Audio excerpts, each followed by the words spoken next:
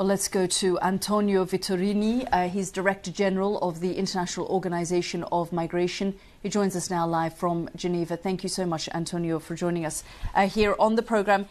These, these numbers are, are, staggering, and it's only likely to get worse. Indeed, as you have uh, rightly said, uh, we have uh, registered more than 300,000 people uh, displaced since the beginning of the fighting and 100,000 have crossed the borders to the five neighboring countries. But there are millions who are trapped in Khartoum, and what we see is that uh, uh, water, uh, food, uh, fuel, all basic elements of survival are uh, lacking in the entire country. So we are already confronted with a very serious humanitarian crisis.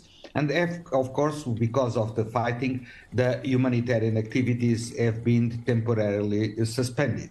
Yeah, so tell me a little bit more about that, because obviously, as you say, people are in desperate need uh, of aid to try and get access to food, water, clean water, and yet the, the humanitarian aid is suspended. It is a very difficult decision, I imagine, uh, for you and other aid agencies to make. Absolutely. Uh, I must say, nevertheless, that there are initiatives taken by the civil society in Sudan to support those who are displaced and who are more in need. But in fact, uh, roughly uh, 4,000 tons of humanitarian aid of the different UN agencies were looted in Sudan because of the fight. So the question is not just the security of the humanitarian operations. We need to have guarantees from the uh, two parties in the fight that uh, humanitarians can reach out to those who are in need. It's not just the security of our staff that is our concern. It is also the capacity to deliver the goods that are needed by the people and then distribute them inside the country when uh, the fight uh, goes on. Uh, no doubt you've got a, a, a lot of um, local staff who are working for you. How are they currently functioning, operating, or are they not? We are now repositioning all our staff inside Sudan. We have uh, almost 300 uh, local staff uh, the communications are difficult. Uh, in many places, there are no electricity. Transportation is a very risky exercise. So we are regrouping them as much as we can in what we consider the safer places in the country so that we can restart operations as soon as possible, which means as soon as the parties in the fight give us guarantees that uh, we can have free and unimpeded access to the people that are in well, need. What about, though, uh, uh, Antonio, in places like Port Sudan, where it is relatively uh, safer than other parts of the country, and we are seeing um, a mass exodus uh, of people there? Can you get aid to Port Sudan?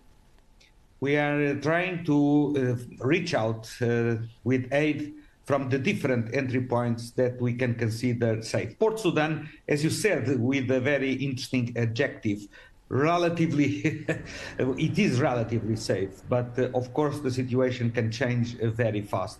But uh, we are encouraged by the fact that the world food program uh, is ready to start distributing fund, uh, uh, food in the next few days. And from our side we are in an interagency un interagency coordination committee that is also preparing the ground for the other humanitarian agencies to reach out those who are in need and, and what about uh, along the borders, uh, Antonio, with all the people sort of trying to leave the country as well? What support is being offered to them uh, by, by the IOM?